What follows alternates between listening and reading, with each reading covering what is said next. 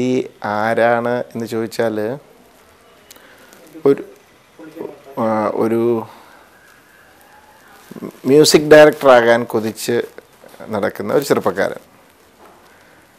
അച്ഛന്റെയും അമ്മയുടെയും ഏകമകൻ അച്ഛനും അമ്മയും എന്തു പറഞ്ഞാലും അത് ഒരെതിർപ്പ് കൂടാതെ അനുസരിക്കുന്ന ഒരു നല്ല മകൻ ഒരു ഗുഡ് സൺ എന്ന് വേണേൽ പറയാം. എന്നാൽ ഇപ്പോഴത്തെ പുതിയ ജനറേഷന്റെതായ കുഞ്ഞു കുഞ്ഞു കുറുമ്പുകളും കാര്യങ്ങളും ഒക്കെ ആദിക്കുണ്ട്. ഇതാണ് ആദിയുടെ ഒരു ക്യാരക്ടറൈസേഷൻ. ആദ്യ ഒരു പ്രശ്നങ്ങളിൽ ചെന്ന് ചാടുന്നതും തൊടുത്തുനിന്നാണ് കഥ വേറെ തലത്തിലേക്ക് വളരുന്നത്. അതെന്താണെന്ന് തിയേറ്ററിൽ പോയി നിങ്ങൾ കാണുക. അതിനാണല്ലോ ഞങ്ങൾ കഷ്ടപ്പെട്ട് ഈ കഥ എഴുതിയേക്കുന്നത്. എന്താണ് ആ പ്രശ്നം? അവിടെ എങ്ങനെയാണ് അവനത് അത് ഹാൻഡിൽ ചെയ്യുന്നു എന്നുള്ളതൊക്കെയാണ് ഈ കഥ. ഇത് ആക്ച്വലി ഇത് കഥ എനിക്ക് എന്റെ മനസ്സിൽ നേരത്തെ ഉണ്ടായിരുന്നു അത്. പക്ഷേ അതൊരു വേറെ രീതിയിലായിരുന്നു. പാർക്കോർ അന്നില്ലായിരുന്നു. അന്നൊരു മാരത്തോൺ റണ്ണർ എന്നുള്ള ഒരു അതായത് നല്ല സ്റ്റാമിനയുള്ള ഒരു ക്രോസ് കൺട്രി റേസർ ഒരു നാട്ടിൻപുറത്തുകാരൻ പയ്യൻ എന്നൊക്കെയുള്ളൊരു കോൺസെപ്റ്റാണ് പക്ഷെ അന്നത് ആലോചിച്ചപ്പോൾ അന്ന് ഇച്ചിരി എക്സ്പെൻസീവ് ആണെന്ന് അന്നേ എനിക്കറിയാം. സിനിമയിൽ വരുന്നതിന് മുമ്പ് തന്നെ തോട്ട് സിനിമ വന്നപ്പം അന്നേരം ഞാൻ ഇതിനെക്കുറിച്ച് ആലോചിച്ചു. പക്ഷേ ഇത് ഇപ്പോൾ എങ്ങനെ ചെയ്യും? അപ്പോൾ എന്തായാലും മലയാളത്തിൽ നടക്കില്ല എന്നൊക്കെ കരുതിയിരുന്നപ്പോഴാണ് കറക്റ്റ് കാരണം എക്സ്പെൻസീവ് ആണ്. പിന്നെ ഒരു വളരെ നല്ല ഷേപ്പുള്ള നല്ല ഒരു അത്ലറ്റിക് ബോഡിയുള്ള ഒരു ചെറുപ്പക്കാരനെ വേണമായിരുന്നു ഒരു പയ്യനെ വേണമായിരുന്നു. അപ്പോൾ ഇന്നത്തെ ഇൻഡസ്ട്രിയിൽ അങ്ങനെ ആരും ഇല്ല. അപ്പോൾ ഒന്നെങ്കിൽ പുതിയ ഫേസ് ഒരു ന്യൂ ഫേസിനെ വെച്ച് ചെയ്യണം. പക്ഷേ അതൊരു എക്സ്പെൻസീവ് പ്രൊജക്റ്റ് ആയതുകൊണ്ട് എങ്ങനെ വർക്കൗട്ട് ആവും? അതിന്റെ സാധ്യതകളൊക്കെ ആലോചിച്ച് നല്ലപോലെ തമിഴിലോ ഹിന്ദിയിലോ ഒക്കെ ആലോചിക്കാം എന്തെങ്കിലും അങ്ങനെ സാധ്യത വരികയാണെങ്കിൽ എന്നൊക്കെ ഇരിക്കുമ്പോഴാണ് അപ്പു ഇഫ് സിനിമയുടെ കാര്യം ഇങ്ങനെ സിനിമ ചെയ്യാൻ താല്പര്യപ്പെടുന്നു. എന്നോട് എന്തെങ്കിലും കഥയുണ്ടോ എന്ന് ചോദിച്ചപ്പോൾ ഞാൻ ഈ തോട്ട് ഷെയർ ചെയ്തു. അപ്പോൾ അക്കൂട്ടത്തിൽ ഞാൻ ഷെയർ ഇപ്പോൾ പുതിയ ജൻ ജനറേഷന്റെ ഒരു ഒരു ഒരു ഒരു കൈൻഡ് ഓഫ് എന്താ പറയുക ഒരു ഗെയിമോ എക്സസൈസോ ഒക്കെയാണ് ഇപ്പോൾ ഈ പാർക്കോർ അതും it's a kind of running അപ്പോൾ ഫ്രീ റണ്ണിങ് എന്നാണ് ഇതിനും പറയുന്നത്. അപ്പം ഞാൻ ആ പാർക്കോറിനെ ഇതിനകത്തേക്ക് കയറ്റി വെച്ചിട്ട് ഞാൻ പ്രണവിനോട് കഥ പറഞ്ഞു. ആ തോട്ടം അവൻ ഇഷ്ടമായി. അപ്പോൾ ഈ ഫുൾ ഫ്രെയിമൊന്നും ഇല്ലായിരുന്നു. ഈ ബേസിക് തോട്ടേ ഉണ്ടായിരുന്നുള്ളൂ. അപ്പം ഞാൻ പറഞ്ഞു അങ്ങനെ ഞാൻ ഈ കഥ പറഞ്ഞ് അല്ല ഒരു ഇതിന്റെ സ്ക്രിപ്റ്റ് വർക്ക് ചെയ്തിട്ട് നമുക്കൊന്നുകൂടെ ഇരിക്കാം. അപ്പോഴേ ഒരു വ്യക്തത ഉണ്ടാവുള്ളൂ എന്ന് പറഞ്ഞു അങ്ങനെ പിരിഞ്ഞു. പിന്നെ അതൊരു വൺ ലൈനാക്കി ഞങ്ങളിരുന്നു. അത് ഡിസ്കസ് ചെയ്തു. അങ്ങനെയാണ് ഇതിലേക്ക് വരുന്നത്. അല്ല അതൊരു ഒരു ഉത്തരവാദിത്വമാണ്. ആക്ച്വലി ടു ബി ഫ്രാങ്ക് എന്താ പറയുക ഒരു ഒരു വലിയ ജോലി നമ്മൾ ഏൽപ്പിച്ചു അത് എന്താ പറയുക നമ്മളത് നൂറ് ശതമാനം ആത്മാർത്ഥതയോടുകൂടി സത്യസന്ധതയോടുകൂടി അത് പൂർത്തീകരിക്കുക എന്നുള്ളതായിരുന്നു. അപ്പോൾ അതിനകത്ത് എനിക്ക് സാധാരണ സിനിമയെ അപേക്ഷിച്ച് ഒരു ചലഞ്ച് സാധാരണ സിനിമയുടെ നമ്മുടെ മുന്നിലുള്ള ചലഞ്ച് ഓഡിയൻസിന് അത് ഇഷ്ടപ്പെടുന്ന രീതിയിൽ പ്രസന്റ് ചെയ്യുക പ്രൊഡ്യൂസർക്ക് നഷ്ടം വരാതിരിക്കുക നോക്കുക ഇതൊക്കെയാണ്. അപ്പോൾ ഇവിടെ അതിന്റെ കൂടെ അഡീഷണൽ ഒരുണ്ട് മോഹൻലാലും സുചേച്ചിയാണ് ഇതെന്നെ ഏൽപ്പിച്ചത്. അവരുടെ അവർക്ക് നാളെ ഒരു അബദ്ധം പറ്റി എന്ന് തോന്നരുത്. അല്ലെങ്കിൽ ഒരു റോങ് ഹാൻഡ്സിലായിപ്പോയി മകൻ എന്നല്ലെങ്കിൽ ഇൻട്രൊഡക്ഷൻ ഇൻട്രൊഡ്യൂസ് ചെയ്യാൻ ഏൽപ്പിച്ചു എന്നൊരു തോന്നൽ വരരുതെന്നൊരു ആഗ്രഹം. അതാണ് എന്റെ ടെൻഷൻ അത് പക്ഷേ ഞാൻ പടം റിലീസ് ചെയ്യുന്നതിന് മുമ്പ് തന്നെ ആ ടെൻഷൻ മാറി. കാരണം അവർ പടം കണ്ട് അവർ ഹാപ്പി ആയിരുന്നു. ഇപ്പോൾ പടം ഇറങ്ങി നന്നായി പോകുന്നു. വളരെ സന്തോഷം. അവൻ ഏത് ജോലി ചെയ്താലും അതിനകത്ത് ഹൺഡ്രഡ് പെർസെന്റ് അതിനകത്ത് കമ്മിറ്റഡ് ആണ് ഡെഡിക്കേറ്റഡ് ആണ്. അതുകൊണ്ട് അവൻ എനിക്ക് തോന്നുന്നു എന്ത് ജോലി ചെയ്താലും അവൻ നമ്മൾ വിചാരിക്കും അവൻ ആ ജോലിയും എടുക്കണമെന്ന് കാരണം അതാണ് അവന്റെ പ്രത്യേകത. ഒരു മൾട്ടി ടാലന്റഡ് ആയിട്ടുള്ള ഒരു ഒരു പയ്യനാണ് ഇപ്പം ലിറിക്സ് ഇംഗ്ലീഷ് ഇതിനകത്തൊരു ഇംഗ്ലീഷ് സോങ് ഉണ്ട്. അതിന്റെ ലിറിക്സ് എഴുതി അതിന്റെ ഗിറ്റാർ വായിച്ചു പാടി. അപ്പോൾ എല്ലാം എന്ത് ചെയ്താലും അതിന്റെ പെർഫെക്ഷനിൽ ചെയ്യുന്ന ഒരാളാണ്. അപ്പം അവൻ ഏത് ജോലിയിലാണ് മിടുക്കെന്ന് ചോദിച്ചു കഴിഞ്ഞാൽ അത് ഇനി ഉള്ള മുന്നോട്ടുള്ള അവന്റെ യാത്രയിൽ നിന്ന് നമ്മൾ തി അതിൽ നിന്ന് കണ്ടുപിടിക്കണം. ഉള്ള കഴിവുകളിൽ ഏതിലാണ് അവൻ ബെസ്റ്റ് എന്നുള്ളത്. അല്ല അച്ഛനും മോനും അവരുടെ ആക്ടിങ് സ്റ്റൈൽ ഡിഫറെന്റ് ആണ്. പക്ഷെ അവർക്കൊരു യുണീക്കായിട്ടുള്ളൊരു ഒന്ന് രണ്ട് കാര്യങ്ങളുണ്ട്. അതായത് ലാലേട്ടൻ ഭയങ്കര ഡയറക്ടേഴ്സ് ആക്ടറാണ് ഭയങ്കര ഇപ്പോഴും ലാലേട്ടൻ ഡയറക്ടർ എന്ന് പറയുന്നതിന്റെ കൂടെ നിൽക്കും. അത് പറയുന്ന നേരെ സ്വ- സ്വന്തം അഭിപ്രായങ്ങളൊക്കെ പറയും. പിന്നെ ഭയങ്കര പ്രൊഫഷണലാണ് രാവിലെ പറഞ്ഞതിന് അത് രാവിലെ പുള്ളി വരും. പുള്ളിക്ക് അതിനകത്തൊന്നും പ്രശ്നമില്ല. ഹൺഡ്രഡ് പെർസെന്റ് അതിനകത്ത് ഡെഡിക്കേറ്റഡ് ആണ്. അപ്പു ഇത് തന്നെയാണ്. അപ്പുവിന്റെ ഫസ്റ്റ് ഫിലിമാണ് പക്ഷേ അപ്പു അമ്പതാമത്തെ പടം ചെയ്യുമ്പോഴും ഇത് തന്നെയായിരിക്കും എന്ന് വെച്ചാൽ കാരണം ബേസിക്കലി ആ ക്യാരക്ടർ ഉണ്ട്. പിന്നെ എല്ലാവരുമായിട്ട് മിങ്കിൾ ചെയ്യുന്നു. വളരെ സിമ്പിളാണ് അങ്ങനെ ഒരു താ ഇപ്പോൾ ഒരു താരപുത്രൻ എന്നുള്ള ജാടയില്ല. അപ്പോൾ നാളെ താരത്തിന്റെയും ജാടയില്ല. പുള്ളിക്ക് അങ്ങനെ ലൈം ലൈറ്റ് വരണമെന്നോ അല്ലെങ്കിൽ ഈ എന്താ പറയുക ഈ ഫെയിം ഒന്നും പുള്ളിക്ക് താല്പര്യമില്ല. അതുകൊണ്ടാണ് പുള്ളി മീഡിയയിൽ പോലും വരാത്തത്. പുള്ളി അഭിനയിച്ചു ഇത് ചെയ്തു. എന്റെ അഭിനയം കാണാനല്ലേ ആൾക്കാർ വരുന്നത്. അവർ കാണട്ടെ. എന്ന് പറഞ്ഞ് അദ്ദേഹം അദ്ദേഹത്തിന്റെ താല്പര്യങ്ങളും ഇഷ്ടങ്ങൾക്ക് വേണ്ടിയിട്ടും ഒക്കെ പോയിരിക്കുകയാണ് പുള്ളിക്ക് മൗണ്ടനിയറിംഗ് ഭയങ്കര ഇഷ്ടമാണ്. അപ്പം അങ്ങനെ അതാണ് അവരുടെ യുണീക്ക് ഫാക്ടർ പക്ഷേ അവരുടെ ആക്ടിങ് സ്റ്റൈൽ ഡിഫറെന്റ് ആണ് ഡിഫറെന്റ് ആവണം. ലാലേട്ടനെ പോലെ അഭിനയിക്കാനാണെങ്കിൽ അപ്പോൾ എന്താ പറയുക എന്താ പ്രണവ് മോഹൻലാലിന് പ്രസക്തി ഇല്ലാതാവും.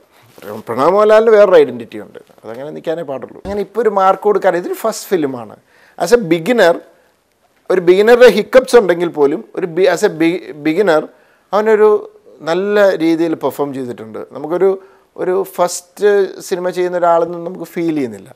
പിന്നെ അങ്ങനെ ഒരു മാർക്കറ്റ് ഞാനിപ്പോൾ ഈ സിനിമയിൽ തന്നെ ഓരോരുത്തർ കണ്ടിട്ട് മാർക്കിടുന്ന അല്ല ഞാൻ അതിനൊക്കെ എതിരാണ്. ഇങ്ങനെ എങ്ങനെയാണ് മാർക്കിടുന്നത് കാരണം ഞാൻ മാർക്കിടാൻ ഞാൻ ആരാ? മലയാള സിനിമയുടെ ഫൈനൽ വേണമെന്നല്ല ഞാൻ എന്റെ ആംഗിളിലാണ് കാണുന്നത്. വേറൊരാൾ വേറൊരു ആംഗിളായിരിക്കും കാണുന്നത്. എനിക്കിഷ്ടമാകുന്ന പല രംഗങ്ങളും വേറൊരാൾക്ക് ഇഷ്ടമല്ല അല്ല ആ പെർഫോമൻസ് ഇഷ്ടമല്ലാതെ വരാം അതുകൊണ്ട് തന്നെ ഈ സിനിമയെ ചിലർ വരുന്ന വിലയിരുത്തുന്നത് കാണുമ്പോൾ നമുക്ക് സങ്കടം തോന്നുന്നു കാരണം പക്ഷേ ഇപ്പോൾ അതൊരു ഒത്തിരി പേര് റിയലൈസ് ചെയ്ത് തുടങ്ങി. ഒത്തിരി പേര് പറഞ്ഞിട്ടുണ്ട് ഞങ്ങൾ ആ റിവ്യൂ കണ്ടിട്ട് ഞങ്ങൾ പട അത് കേട്ട് പടം കണ്ടില്ല. പക്ഷേ ചാനൽ വന്നപ്പോൾ കണ്ടു നല്ല പടമായിരുന്നു എന്ന് പറഞ്ഞു. അപ്പോൾ ആൾക്കാരത് മനസ്സിലാക്കി തുടങ്ങി.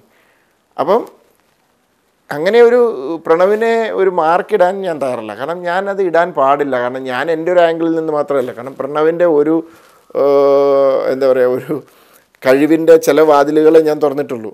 ഇനി ഒത്തിരി ഏരിയ കിടപ്പുണ്ട്.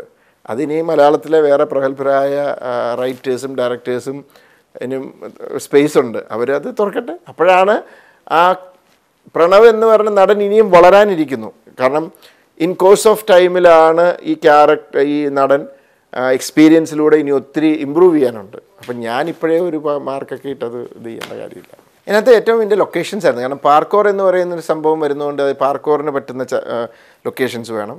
പിന്നെ ഇതിനകത്ത് ചില ലൊക്കേഷൻ ഒരു വലിയ ബിൽഡിംഗ് ഉണ്ട്. ആ ബിൽഡിംഗ് ഒക്കെ ഈ സിനിമയുടെ ഒരു ക്രൂഷ്യൽ എന്താ പറയുക പാർട്ടാണ് അവിടെ പെർമിഷൻ ഇല്ല. അപ്പോൾ അത് പല രീതിയിൽ പല പീസസ് ആയിട്ട് അതിന്റെ പല സ്ഥലത്തൊക്കെ ചെയ്യേണ്ടി വന്നു. അങ്ങനെ ആ ഷൂട്ടിങ്ങിൽ ആ ലൊക്കേഷൻസ് ആയിരുന്നു ഞാൻ എന്നെ സംബന്ധിച്ചുള്ള ഇതിന്റെ ഏറ്റവും ചലഞ്ചിങ് ആയിട്ടുള്ള ഇത്.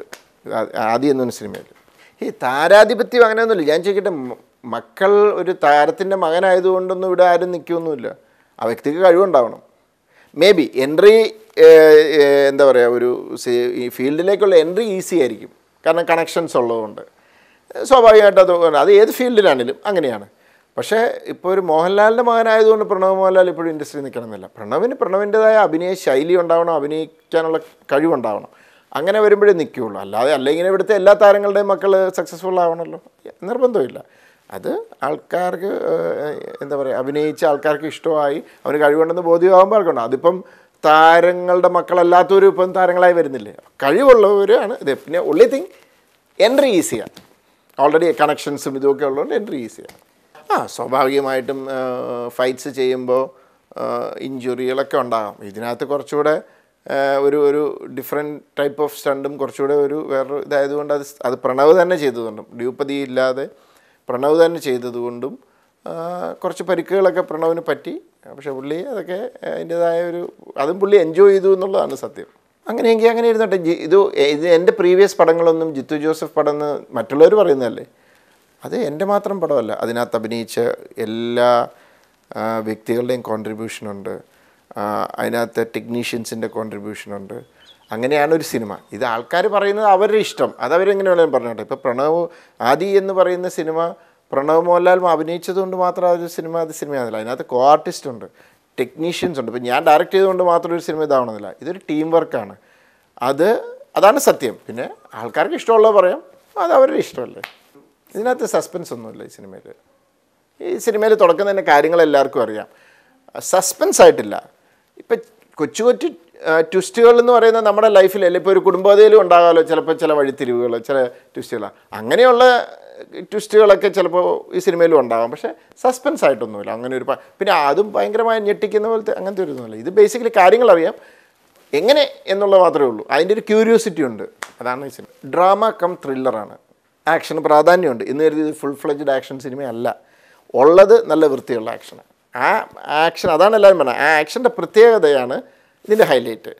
അല്ലാതെ ഒത്തിരി ഫൈറ്റ് ഒന്നുമില്ല ആ ആക്ഷൻ എന്ന് പറഞ്ഞു കഴിഞ്ഞാൽ ഇപ്പം ഞാൻ ചോദിക്കട്ടെ ഇപ്പം നമ്മുടെ സിനിമയിലെ പല ഫൈറ്റ്സിനോട് ആൾക്കാർക്ക് സ്ത്രീകളൊക്കെ മോഹം തിരിക്കുന്നതിന്റെ കാര്യം ആ ഫൈറ്റ് കാണുമ്പോൾ നമുക്കൊരു അമാനുഷിക അമാനുഷികത ഫീൽ ചെയ്യാറുണ്ട്. അല്ലെങ്കിൽ ഇത് ഇത് എന്ത് അങ്ങനെ ഒരു തോന്നുന്നുണ്ട് ഇതിന്റെ പ്രത്യേകത എന്ന് വെച്ചാൽ ഇതൊരു കിരീടത്തിലെ ഫൈറ്റ് അടി എന്ന് പറഞ്ഞാൽ അത് ഫാമിലി അക്സെപ്റ്റ് ചെയ്യണം അത് അടിയാണ് നമുക്കത് ഫീൽ ചെയ്യും. എന്ന് പറയുന്ന പോലെ ഇതിനകത്ത് വേറൊരു കൈൻഡ് ഓഫ് ഫൈറ്റിന് ആ ഫൈറ്റിന്റേതായ ഒരിതുണ്ട് എന്നാൽ അത് ഒരു സ്റ്റെപ്പ് മുകളിലേക്കും കയറ്റി വെച്ചിട്ടുമുണ്ട് പൊടിക്കൊരു ഹീറോയിസത്തിന് കൊടുത്തിട്ടുണ്ട് പക്ഷേ ഒരു ഓവർ ഹീറോയിസം ഒന്നുമില്ല. കാരണം ഒരു ലാർജർ ദാൻ ലൈഫ് ക്യാരക്ടറൊന്നും അല്ല. പിന്നെ ഒരു സാധാരണ ഒരു നോർമൽ ഒരു ഒരു ചെറുപ്പക്കാരൻ അങ്ങനത്തെ ഒരു എന്താ ഒരു റിയലിസ്റ്റിക് ക്യാരക്ടറാണ് അങ്ങനത്തെ ഒരു അപ്രോ ഇതാണ് ആ ക്യാരക്ടർ അപ്പോൾ പിന്നെ നമ്മൾ ആ രീതിയിലുള്ള ഫൈറ്റ് അപ്പ് ചെയ്തേക്കുന്നത്. ക്യാരക്ടറൈസേഷൻ എനിക്ക് റിവീൽ ചെയ്യാൻ പറ്റത്തില്ല.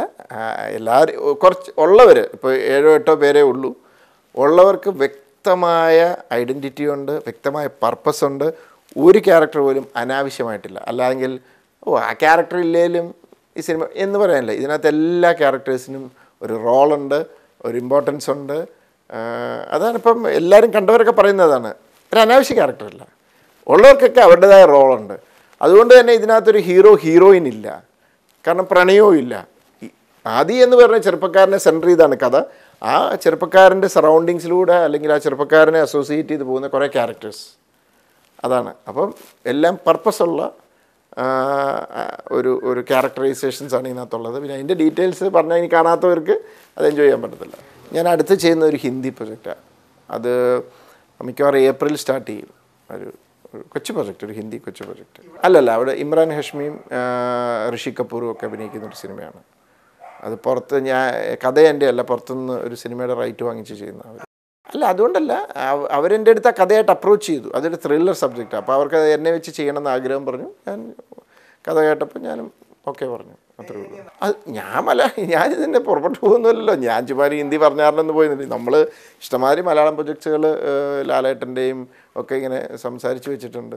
ദുൽഖറിനോട് ഒരു സബ്ജക്റ്റ് ഇങ്ങനെ ജസ്റ്റ് മെൻഷൻ ചെയ്ത് വെച്ചിട്ടുണ്ട്. ദുൽഖർ പിന്നെ ഇപ്പം ഞാനത് ഫുള്ളി ഇതായിട്ടില്ല.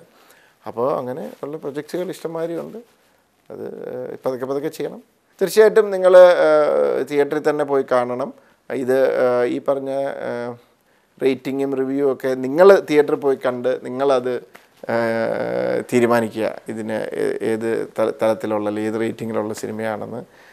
കാരണം എല്ലാ റിവ്യൂവും എല്ലാം റേറ്റിങ്ങും കറക്റ്റ് ആവണമെന്നില്ല.